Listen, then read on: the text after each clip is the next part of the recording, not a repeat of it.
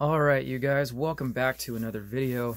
In today's video, I'm going to show you guys how to take Dr. Schulze's Super Ginseng formula and how to take his male formula.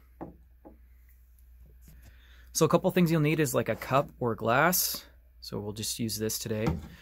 And I wanted to show you guys how I took both of these formulas. So we'll start with the Super Ginseng.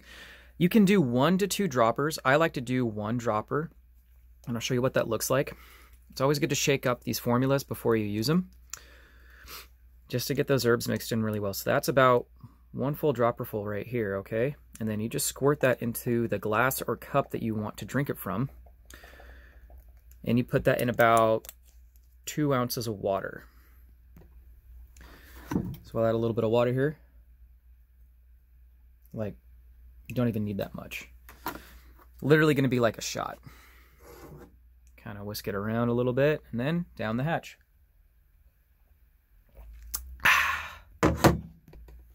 And then next for Dr. Schulze's male formula, it's always good to, um, this one you want to take at least two droppers fulls. Um, and for both of these formulas, you'll do this like, you'll do these two dropper fulls like one or two dropper fulls uh, two to four times in a day. So throughout the day is what you're going to do. But each, so two dropperfuls of these, for example, is going to be one dose. So there's one and then two. Boom. The only thing that's different with the ginseng is that you're only going to use about one dropperful.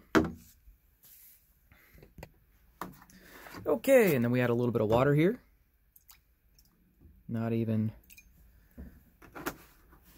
a full shot. Whisk it around and then down the hatch.